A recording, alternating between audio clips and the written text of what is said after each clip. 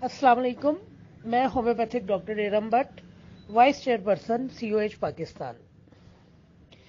आज जो हमारा टॉपिक है, वो हमारे पिछले टॉपिक की ही एक कड़ी है साइकोसिस म्याज्म के ऊपर हम बात कर रहे थे, और इससे पहले जो मैंने लेक्चर दिया, उसमें मैंने आपको साइकोसिस के हवाले से मुख्तसर उसका तारुफ करवाया, और मैंने आपको बताया कि साइकोसिस जो है वो क्यों कर होता है, उसमें मैंने आपको गनोरिया और साइकोसिस में फ़र्क बताया कि सोजाक और साइकोसिस में फ़र्क होता है।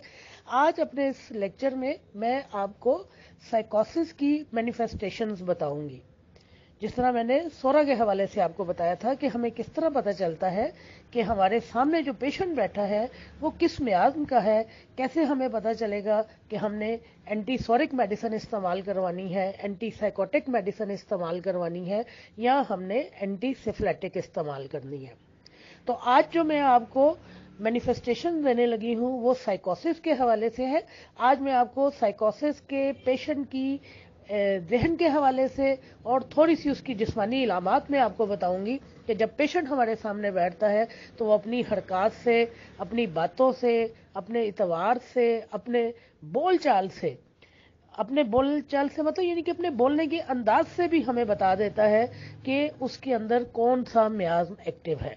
तो आज का जो हमारा टॉपिक है बेसिकली वो मैनिफेस्टेशन ऑफ़ साइकोसिस है।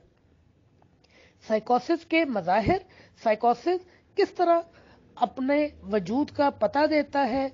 कौन सी ऐसी बातें हैं जिनसे हमें समझ आती है कि पेशेंट जो है वो साइकोसिस का है? तो साइकोसिस के हवाले से एक बात अगर आप याद कर लें तो यकीन मानिए कि आपको बहुत लंबी चौड़ी चीज़ें याद नहीं करनी पड़ेंगी। सिर्फ़ एक जुमला आप उसके हवाले से याद कर लीजिए कि साइकोसिस का जो पेशेंट होता है, वो फितरतन, बदकार और बदमाश होता है। अब अगर आप एक लफज बदकार को याद कर लें और एक लफज आप बदमाश को याद कर लें तो आप देखें, ये आपको पूरी पेशेंट की एक पिक्चर जो है वो डेवलप कर देंगे। बदमाश में और बदकार में फ़र्क होता है। ज़रूरी नहीं कि हर बदकार आदमी बदमाश हो और हर बदमाश आदमी बदकार हो। पहले ज़माने में जो बदमाश होते थे ना, अब आजकल के ज़माने में किस तरह के हैं, किस तरह नहीं। लेकिन जो हमने सुना है कि पहले ज़माने के जो बदमाश होते थे, उनके इलाके में किसी को किसी खातून की तरफ़ निगाह उठाने की, किसी को छेड़ने की, किसी की तरफ़ आवाज़ा कसने की ज़रूरत नहीं होती थी। कि पता होता था कि ये फलां बदमाश का इलाका है और उनकी माँ बहनों की इज़्ज़त जो है, उसके रखवाली जो होते थे, वो उस इलाके के बदमाश होते थे। यानी वो बदकार नहीं होते थे, लेकिन वो बदमाश होते थे। और बदकार आदमी जो है, वो उमूमन जो है, छुप छुपा कर चोरी छुपे बदकारी करता है, जिना करता है, शराब पीता है, जुआ खेलता है, लेकिन ज़रूरी नहीं कि वो बदमाश भी हो। दोनों में आप फ़र्क कर लीजिए, लेकिन साइकोसिस के जो पेशेंट होते हैं, वो फितरतन बदमाश होते हैं और फितरन बदकार होते हैं। अब इन दो लफ्जों को आप जितना फैलाना चाहें, उसके दायरे में कोई भी चीज़ लेके आना चाहें, आप उसमें ला सकते हैं तो आपको समझ आ जाएगी कि ये बंदा जो है, ये साइकोसिस का पेशेंट है। ये साइकोसिस के जो पेशेंट होते हैं, ये किसी पर एतबार नहीं करते हैं। इवन ये अपने आप के ऊपर भी एतबार नहीं करते। ये हमेशा दूसरों को शक की निगाह से देखते हैं।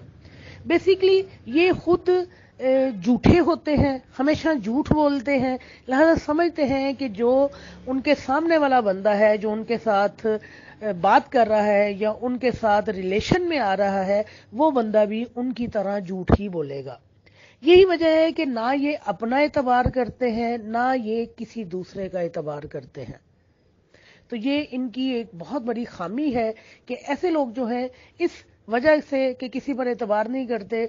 तो देखिए, क्या बात है, अगर ये डॉक्टर के पास भी गए हैं तो ये अपने डॉक्टर पर भी एतबार नहीं करेंगे। उन्हें लगेगा कि ये डॉक्टर ठीक नहीं, मुझे दूसरा डॉक्टर जो है वो रखना चाहिए। लिहाजा, इनके डॉक्टर जो है ना, ये बदलते रहते हैं। ये किसी एक डॉक्टर के पास अपना इलाज भी नहीं करवाते हैं। दस पंद्रह दिन मेरे पास आएँगे, उसके बाद दस पंद्रह दिन किसी दूसरे डॉक्टर के पास जाएँगे, फिर उनसे गैर मुतमिन होंगे, उनसे मुतमिन नहीं हो पाएँगे, फिर अपना डॉक्टर बदल लेंगे। तो ये लोग इस तरह अपना जो है, एतबार ना करने वाली आदत की बुनियाद पर ज़िंदगी के हर फ़ेज़ में ये काम इनके अंदर यानी कि रचा बसा होता है कि ना ये खुद पर एतबार करते हैं, ना ये किसी दूसरे पर एतबार करते हैं। ये हर एक को शक की निगाह से देखते हैं। पीछे बेसिक वजह क्या है कि खुद झूठे होते हैं, खुद अपनी बातें छुपाते हैं, खुद सच नहीं बोलते हैं, कोशिश करते हैं कि अपने जो इनके सीक्रेट्स हैं, किसी को पता ना चले। लिहाजा अपनी बातें छुपाने के लिए खुद झूठ बोलते हैं तो यही तो करते हैं कि जो दूसरे लोग हैं, वो भी झूठ ही बोलते हैं। इन लोगों में हसद का मादा जो है, वो बहुत नुमाया होता है। ये बहुत ज़्यादा हासिद होते हैं और दूसरों को शदीद नुकसान पहुंचाते हैं। यहाँ फिर वही बात आ गई कि सोरा जब तक सोच है सोरा है। और जब सोरा अपनी सोच पर अमल पैरा होता है या उस पर अम, उसको अमली जामा पहनाता है तो वो जो है वो साइकोसिस या सिफलस के दायरे में आ जाता है। तो ये लोग बहुत ज़्यादा जेलस होते हैं दूसरों की तरक्की से हसद करना दूसरों की इमारत से हसद करना, दूसरों की बीवी को देखकर हसद करना, दूसरे के पास अगर कोई अच्छी गाड़ी है तो उसको देखकर हसद करना, ये हर हवाले से हासिल होते हैं और लेग पुलिंग का काम बहुत ज़्यादा करते हैं। याद रखिए, जो जितना हासिल होगा, उतनी ज़्यादा लेग पुलिंग करेगा। ये चाहे दफ्तर में है, चाहे ये अपने कारोबार में है, चाहे घरेलू मामलात में है, इनके अंदर जो हसद का जज्बा पाया जाता है, वो इन्हें चैन से नहीं रहने देता है। लिहाजा इनके अंदर बेचैनी भी बहुत ज़्यादा पाई जाती है। आप देखिए, ये जो बदमाश है, ये क्या करते हैं? ये गुस्से के तेज हो ना हो, लेकिन अपने आप को गुस्से का तेज बताते हैं या ज़ाहिर करते हैं कि जैसे इनको बहुत जल्दी गुस्सा आता है छोटी छोटी बातों से ये चिड़चिड़े हो जाते हैं, इनको गुस्से के दौरे पड़ना शुरू हो जाते हैं, ये इनके मुँह से जाग निकलना शुरू हो जाती है ऑल फोल बकते हैं। ये सारी यानी कि जो मैंने जिस तरह आपको शुरू में कहा कि अगर आप एक बदमाशी के लफज को वसी कर ले, एक दायरे में वसी दायरे में ले आए तो आपको पता चलेगा कि जो जो किसी बदमाश में खासियत पाई जाती है, वो वो खासियत साइकोसिस के पेशेंट में पाई जाती है। ये लोग दूसरों को बहुत ज़्यादा नुकसान पहुंचाते हैं। ये अमली तौर पर नुकसान पहुंचाते हैं। ये सिर्फ़ सोचते नहीं है कि हमने उनको नुकसान पहुंचाना है। ये अमली तौर पर दूसरों को नुकसान पहुंचाते हैं। बेहद गुस्से के तेज होते हैं और बहुत ज़्यादा चिड़चिड़े होते हैं। और साइकोटिक के जो बच्चे होते हैं, उनमें गुस्सा और चिड़चिड़ापन बहुत ज़्यादा पाया जाता है। बहुत ज़्यादा छोटी छोटी बात के ऊपर इनको गुस्से के दौरे पड़ना शुरू हो जाते हैं और ये किसी की बात को बर्दाश्त नहीं कर पाते हैं, ये मुखालफत बर्दाश्त नहीं कर पाते हैं। इन्हें, यानी कि जो बिहेवियर चाहिए, वो यस सर वाला चाहिए। जहाँ कहीं किसी ने इनकी बात से इख्तलाफ किया, वहीं ये शदीद गुस्से की हालत में आ जाते हैं, वहीं इनके मुँह से जाग बहना शुरू हो जाती हैं, ये गलम गलोच करते हैं और हाथापाई भी करते हैं। दूसरों को नुकसान जब पहुंचाते हैं तो ये दूसरों को लड़ाई के ज़रिए, पिटाई के ज़रिए भी नुकसान पहुंचाते हैं। सिर्फ़ ये अमल के ज़रिए, सोच पर अमल पैरा होकर या उनके लिए ताने बाने नहीं मुनते कि इसको मैंने इस तरह नुकसान पहुंचाना है, ये बकायदा उनको फिजिकली नुकसान पहुंचाते हैं। ये चूँकि अपने ऊपर भी एतबार नहीं करते हैं, लिहाजा अपने किसी अमल के ऊपर भी नहीं एतबार नहीं होता तो इस बेतबारी की वजह से ये बार बार अपनी बात को दोहराते हैं। ये एक जुमले को बार बार दोहराने के आदि होते हैं। बात लोग होते हैं, जब एक दफ़ा बात करते हैं तो दोबारा नहीं दोहराते, या ज़्यादा से ज़्यादा दूसरी दफ़ा एक बात को रिपीट कर दिया, लेकिन ये बार बार अपनी बात को दोहराते हैं। वजह क्या? कि ना इन्हें किसी खुद पर एतबार है, ना ये किसी दूसरे पर एतबार करते हैं। गैर मुतमिन लोग होते हैं, ये कभी किसी हवाले से मुतमिन नहीं हो पाते हैं, आप इनको किसी तरह मुतमिन नहीं कर सकते हैं। बहुत ज़्यादा जालिम होते हैं। जुल्म जो है, इनकी फितरत में पाया जाता है। ये जुल्म जानवरों पर भी करते हैं, बच्चों पर भी करते हैं, बड़ों पर भी करते हैं। यानी इनकी फितरत में जो है, वो जुल्म करना पाया जाता है। ये जालिम मिजाज होते हैं, ये जानवरों को भी तंग करते हैं, लोगों को भी तंग करते हैं। अपनी नेचर से मजबूर है कि साइकोटिक जो पेशेंट है, उसकी नेचर जो है, वो जालिमाना किस्म की होती है। यादश के हवाले से ये थोड़े बुलक्कर होते हैं। इनको पुरानी बातें तो याद रहती हैं, लेकिन ताज़ा वाकयात जो हैं, ये भूल जाते हैं। इन्हें नाम याद नहीं रहते, इन्हें डेट्स याद नहीं रहती, लेकिन जितने पुराने वाकयात होते हैं, वो सब इनको याद होता है। अब मैं ये एक छोटी सी बात कहूँगी, जब एज हमारी बहुत ज़्यादा हो जाती है, मैं साइकोसिस के हवाले से बात नहीं कर रही हूँ, मैं ओवरऑल एक जनरल बात कर रही हूँ। अब देखिए कि हमारे जितने बड़े बूढ़े हैं सीनियर्स हमारी फैमिली के लोग हैं, जो 65 क्रॉस कर चुके हैं, जो 70 भी क्रॉस कर चुके हैं। आप देखिए कि उनको अपनी पुरानी सारी बातें याद होती हैं। मैं ये नहीं कह रही कि वो साइकोटिक होते हैं। मैं आपको समझाने के तौर पर बात कर रही हूँ, लेकिन अगर आप उनको देखें तो उनको बिल्कुल ताज़ा बातें याद नहीं होती। इवन उन्हें ये याद नहीं होता कि मैंने दोपहर का खाना खा लिया कि नहीं खाया। उन्होंने एक दफ़ा खाना खा लिया, दोबारा पूछेंगे भी मैंने खाना खाया कि नहीं खाया? तुम लोगों ने मुझे खाना दिया ही नहीं।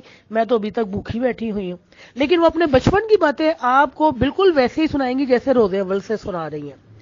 ये मैंने मिसाल दी है, बिल्कुल इसी तरह हमारे जो साइकोटिक पेशेंट होते हैं, इनको ताज़ा बातें याद नहीं रहती, ताज़ा वाकयात ये भूल जाते हैं, इनको नाम याद नहीं रहते, इनको डेट्स याद नहीं रहती, लेकिन इनको पुराने सारे वाकयात जो है, वो याद होते हैं। साइकोसिस के जो पेशेंट होते हैं, वो यूँ महसूस करते हैं कि जैसे जो बात वो कर रहे हैं, उसे कोई दूसरा समझ नहीं पा रहा।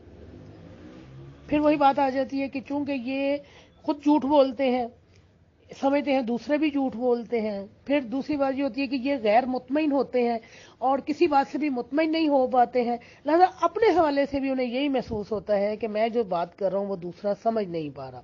और ये जो इनकी गैर मुतमिन हालत होती है, ये इनको बेचैनी की तरफ़ लेके जाती है। जैसा आपको साइकोसिस के जो पेशेंट है, बहुत ज़्यादा बेचैन मिलेंगे, बहुत ज़्यादा रेस्टलेस मिलेंगे और ये हरकत में, रहने में ही सुकून महसूस करते हैं। बेतहाशा खुद गर्ज होते हैं, अपने सिवा किसी के लिए अच्छा नहीं सोचते। इनके अंदर खुद गर्जी जो है, वो कूट कूट कर भरी हुई होती है।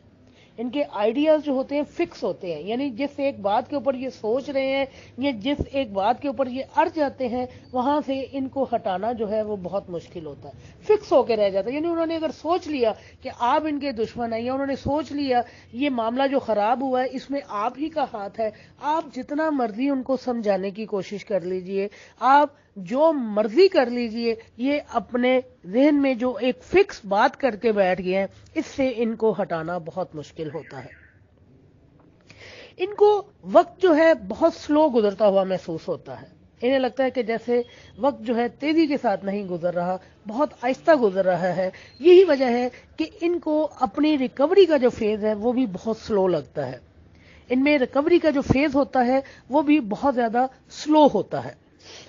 ये लोग ना तो ईमानदार होते हैं, ना ईमानदारी से इनका कुछ लेना देना होता है, और ना ही इनके अंदर इंसाफ के हवाले से कोई सेंस पाई जाती है। बात फिर वहीं से शुरू होकर वहीं पे आती है कि ये लोग फितरतन बदमाश होते हैं, फितरतन बदकार होते हैं, फितरतन इनके अंदर हसद पाया जाता है, फितरतन ये दूसरों को नुकसान पहुँचाने वाले होते हैं, फितरतन ये जालिम होते हैं। लिहाजा किसी किस्म की कोई अच्छाई जो है, वो इनके अंदर पाया जाना मुश्किल होता है। ना ये ईमानदारी को कोई वक़्त देते हैं और ना ही किसी को धोखा देना इनके लिए कोई बड़ी बात है।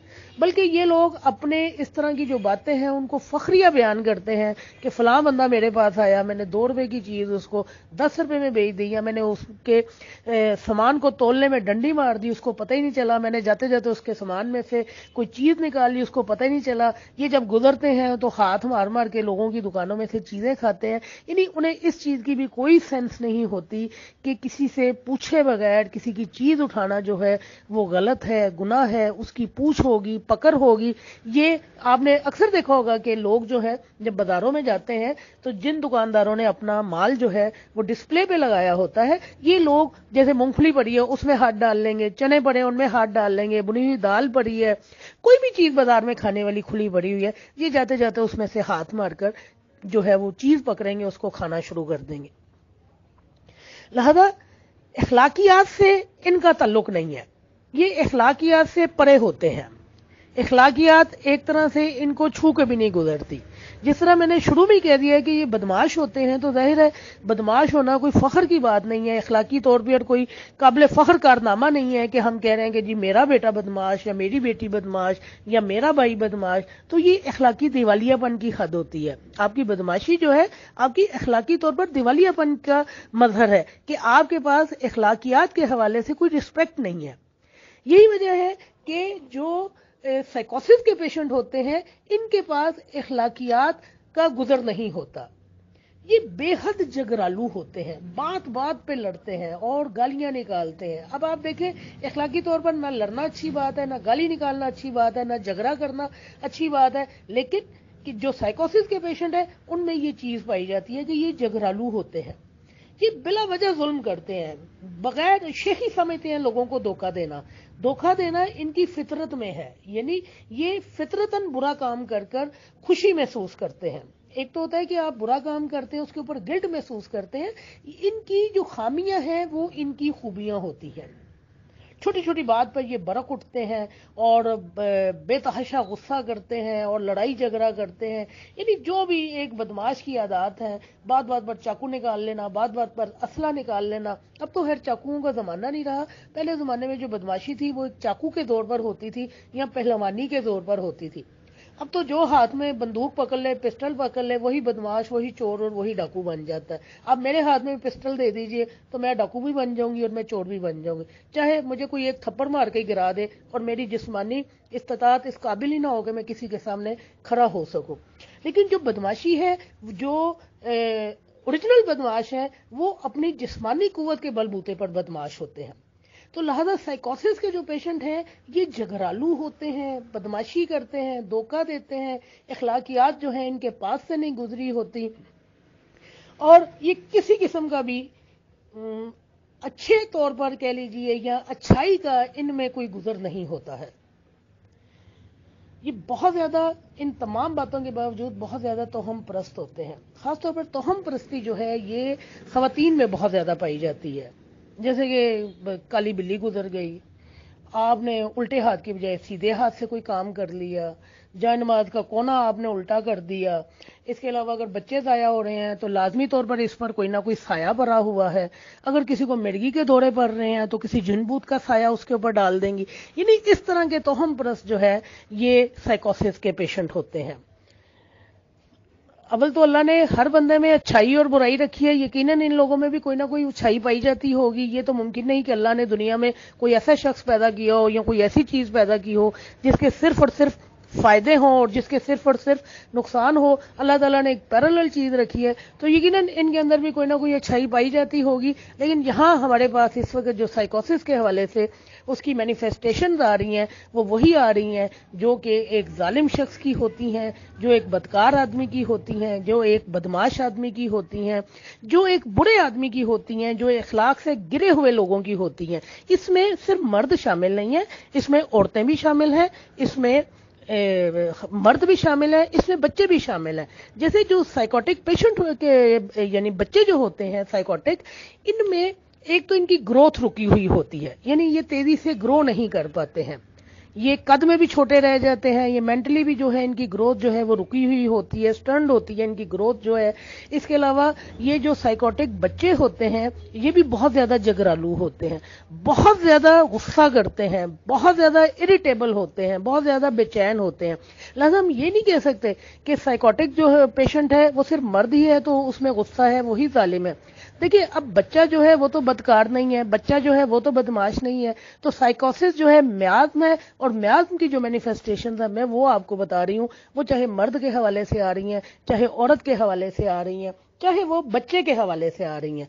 तो हमने मेडिसिन जो इस्तेमाल करनी है, वो हमने एंटी साइकोटिक मेडिसिन का ही इस्तेमाल करना है। जिसमानी लामत के हवाले से मैंने आपको इसके इंट्रोडक्शन में भी मैंने आपको बताया था कि साइकोटिक के जो मरीज़ होते हैं, ये ज़्यादातर आर्थराइटिस में मुबतला होते हैं दमा के ये मरीज़ होते हैं। इसके अलावा जो है, ये जेंटल ऑर्गन्स के हवाले से बहुत सारे इमराज इनमें पाए जाते हैं। फिर आप मसाने के हवाले से इनमें बहुत ज़्यादा इमराज पाए जाते हैं। इनके जो बाल हैं, जो सर में सर से जो बाल इनके गिरते हैं, वो इनकी वर्टेक्स जो है, वहाँ से जो है, पीछे जो है, इनके सर में गुलाई की सूरत में इनके बाल जो है उड़ते हैं। आमतौर पर जिसे मैंने आपसे कहा था कि हमारे माशरे में कहा जाता है कि जी, ये बंदा जो है अमीर हो रहा है, लिहाजा सर जो है इसका दरमियान में से गंजा होना शुरू हो गया। तो हमारे यहाँ यहाँ से बाल उड़ना जो सर के पिछले हिस्से में से है, वो अमारत की निशानी समझी जाती है। गुलाई में एक गंज सा बन जाता है दरमियान में। सर के पिछले, यहाँ पे आप आप अपने सर के पिछले हिस्से पे हाथ रखें। यहाँ पे गंज जो बनता है, उसको वैसे तो अमारत की निशानी समझा जाता है, लेकिन ये म्याजमेटिकली साइकोसिस के पेशेंट होते हैं। तो साइकोसिस के जो पेशेंट है, वो ज़्यादातर जिस तरह मैंने आपको कहा आर्थराइटिस के इमराज में मुबतला होते हैं, मसाने के इमराज में मुबतला होते हैं, जेनिटल ऑर्गन के इमराज में मुबतला होते हैं। ये लोग रिप्रोडक्टिव ऑर्गन के हवाले से इनको मसाइल आते हैं। ये गुर्दों और फेफड़ों के इमराज में मुबतला होते हैं। इनके जो नाखून हैं, वो बहुत मोटे होते हैं, बदवजा होते हैं और बदरंग होते हैं उभरे हुए होते हैं। इनमें नाक के हवाले से जो है प्रॉब्लम्स पाई जाती हैं कि सूंघने की हिस्स इनकी जो है वो ख़त्म हो जाती है और नाक से जो रतूबत निकलती है, वो बहुत ज़्यादा बदबूदार होती है। ये नज़ले और लिकोड़िया के मरीज़ इमराज में भी मुबतला होते हैं। इसके अलावा दूसरी भी बहुत सारी साइकोसिस की मैनिफेस्टेशन आ सकती हैं आपको। लेकिन यहाँ चूँकि मैंने मुख्तसरन बताना है और मैंने बहुत ज़्यादा इसको लंबा नहीं करना, मैंने इसलिए आपको इनके जहनी जो है, इलामत जो है, उनका मैंने आपको बता दिया कि इनकी जहनी मैनिफेस्टेशन या इनका मिजाज या इनके इतवार या इनका बातचीत करने का तरीका, इनका खड़े होने का अंदाज, खड़े होंगे तो आपको देखते ही पता चल जाएगा कि कोई बदमाश है, सीना चौड़ा करके खड़ा होगा, गले के गिरबान के बटन खुले होंगे, कफ के बटन खुले होंगे और ये अपने आप को चौड़ा करके खड़ा होते हैं कि देखने वाले को पता चल जाए कि मैं बदमाश हूँ लंबे लंबे बाल रखेंगे बड़ी बड़ी मूछे रखेंगे। तो मैंने ज़्यादातर आपको साइकोसिस की जो मेंटल या जहनी जो इलामत थी या उनके जो मिजाज थे, उसके हवाले से मैंने वजाहत की कि ये सारी मैनिफेस्टेशन हैं जो हमें बताती हैं कि हमारा पेशेंट जो है, वो साइकोसिस म्याज से तल्लुक रखता है। और अब जब हमने उसका ट्रीटमेंट शुरू करना है तो हमने उसका ट्रीटमेंट जो है, वो एंटी साइकोटिक मेडिसिन से करना है। एक और बात मैं आपको बता दूँ कि साइकोसिस में जो मैनिफेस्टेशन आती हैं, वो मोको के हवाले से आती हैं। मौके पाए जाते हैं। ये मौके मैंने शायद पहले भी आपको लास्ट लेक्चर में भी बताया कि ये जिसम के किसी भी हिस्से पे पाए जा सकते हैं। ये आपके जेंटल ऑर्गन पे पाए जा सकते हैं रेक्टम में पाए जा सकते हैं, आपके चेहरे पे पाए जा सकते हैं। कहीं पे भी जो मौके हैं, वो भी साइकोसिस पाया जाना साइकोसिस की एक निशानी होती है।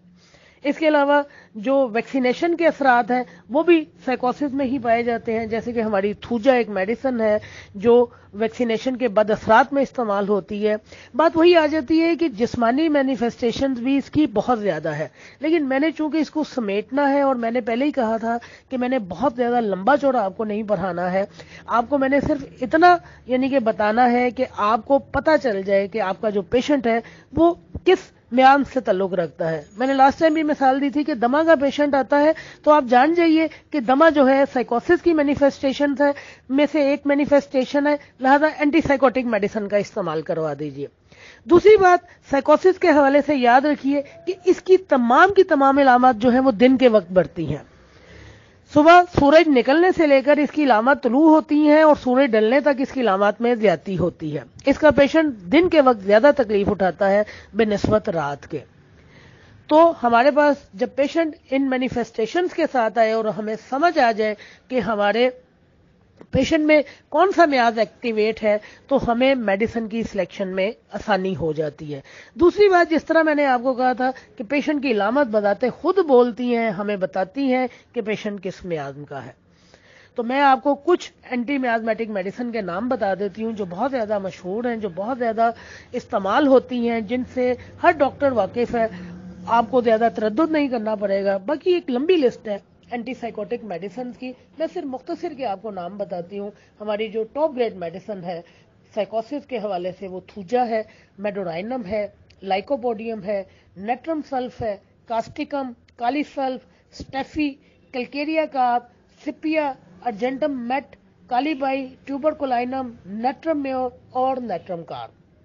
मैंने आपको कहा कि एक तवील फरिस्त है। मैंने सिर्फ़ उन मेडिसिन के नाम बताए हैं जो कि साइकोसिस के हवाले से, जिनसे हमारी शनासाई बहुत ज़्यादा है और ये मेडिसिन हमारे क्लिनिक पे पड़ी हुई होती हैं। वैसे तो आप चाहें तो एक तवील फरिस्त है एंटीसाइकोटिक मेडिसिन के हवाले से। और मैंने आपको पहले भी बताया था कि जब आप किसी मेडिसिन को पढ़ते हैं तो शुरू में ही लिख दिया जाता है कि ये मेडिसिन जो है एंटीसाइकोटिक है एंटीसोरिक है या एंटीसेफ्लेटिक है।